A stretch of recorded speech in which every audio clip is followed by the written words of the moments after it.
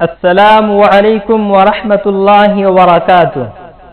امید کے تمام احباب بخیر و عافیت ہوں گے۔ Welcome to our channel in Payam Hayat آج پھر مادر علمی دارالعلوم نور الاسلام جلپاپور نے طلباء کے لیے بہت ہی اہم خوشخبری دی ہے۔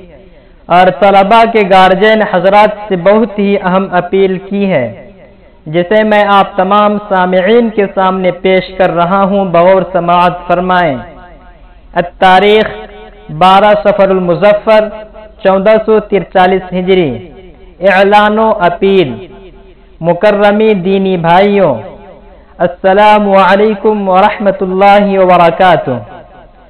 آپ حضرات کو یہ جان کر بے حد مسرت ہوگی کہ ڈیڑھ سال کے طویل لاک ڈاؤن کے بعد حکومت نیپال کی اجازت سے بفضل ہی تعالی آپ سبوں کے محبوب ادارہ دارالعلوم نور الاسلام جلپاپور سنسلی نیپال میں مکتب تا عربی دوم اور عربی سوم تا عربی ہفتم آن لائن اور آف لائن دونوں طریقے سے تعلیم و تعلم کا سلسلہ شروع ہو چکا ہے۔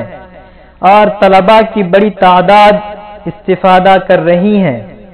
اس موقع پر آپ سے عرض ہے کہ جن حضرات نے اپنے بچوں کا داخلہ اب تک نہیں کرایا ہے یا انہیں دیگر کاموں میں مصروف کر دیا ہے، اب بھی موقع ہے جلد از جلد ان کا داخلہ کرا کر انہیں ضائع ہونے سے بچائیں۔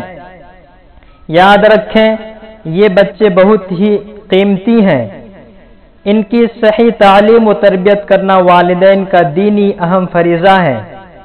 والسلام، عبدالستار الندوی محتمیم دارالعلوم نور الاسلام جلپاپور، سنسری، نیپال۔ والسلام علیکم ورحمۃ اللہ وبرکاتہ۔